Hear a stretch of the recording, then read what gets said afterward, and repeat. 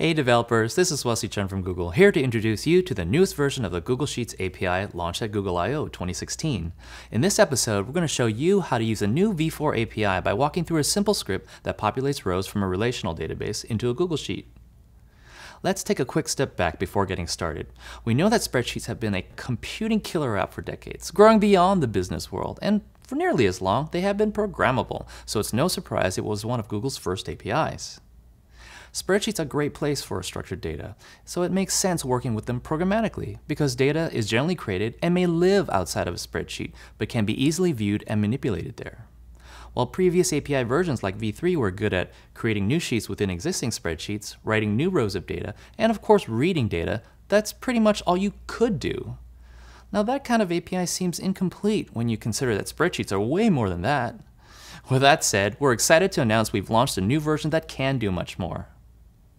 Think of what you can do from a spreadsheet user's interface. An API should allow your code to do most of the stuff that you can do with Sheets on mobile or the desktop. That's the real power of V4, the ability to do way more, yet still keep things simple for developers. To get started with the API, we need a SQL database that has data. Our code lab has the perfect one, so click the link and download the zip file in step 2. Extract the db.sqlite file from the start folder whose schema you see here, and you're ready to go. Now you can do the code lab when you're ready for a deeper hands-on using JavaScript and Node, and it will help that you already know its database. Today we're using Python. Here's a preview of the database rows we're going to push into the new Google Sheet that comes from that database. To keep this a short and sweet intro, there won't be any formatting this time. We're just inserting the raw data. Before we go to the computer, those new to using Google API should catch our intro video on setting up new projects. While today's script is in Python, you can use any language supported by Google API's client libraries. Be sure to watch the Common Code walkthrough video because we're going straight to the API code you see here. Once you've got a project with the Sheets API enabled, let's go to the computer to see how to use it. As we just said, most everything through line 16 is part of the boilerplate, except for the necessary imports we need for this particular script, and of course the scope on line 10. Because we're using the Sheets API, we need to have the necessary scopes here. Also make sure you have the Sheets API enabled in the dev console, otherwise none of this is going to work. Alright, let's move straight to the API code. That's on line 18 through 22. So on line 18 is where we get the service endpoint for Google Sheets, so you can talk to the API. And then we use the spreadsheets.create function to create the spreadsheet with a bare minimum of information, just a title with a timestamp in the request body. And what you get back is a spreadsheet ID, which we save and then let the user know on line 22 that it has been created. Now let's turn our attention to the actual database. So in the next chunk of code, lines 24 through 31, we're not going to touch the Sheets API. We're just going to grab the data that we have sitting in the SQLite database. So you can see just a bunch of field names. We make the connection to the database, grab a cursor, execute our select to grab all the rows, and then insert the headers in front of the rows. So that's what insert zero is. And then the last step is to basically assign this to the JSON payload that we're going to pass to the API, but we're going to strip out the last two columns, which are the created date and the update date.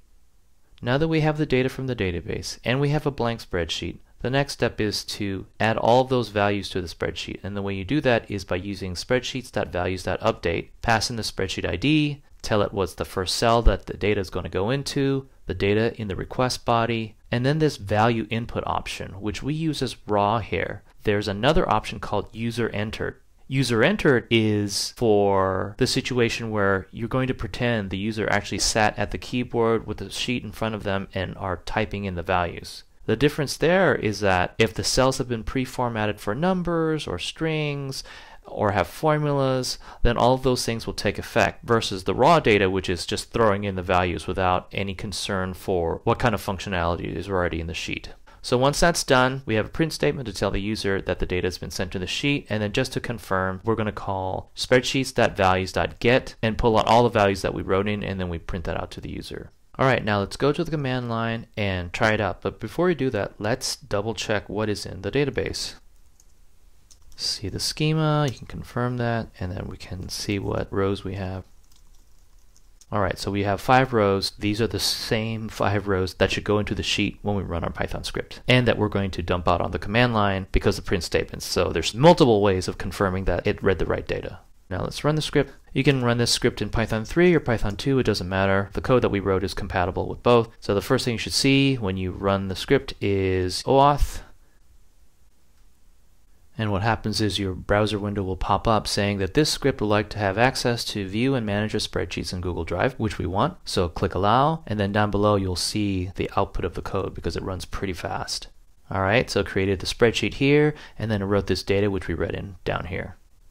Now that's great that we can see the output of what's supposed to be in our sheet, but how do we really know we have a sheet and this isn't just some fake demo? Well, there's no better place to check than your Google Drive and see that you really did create a new sheet right here.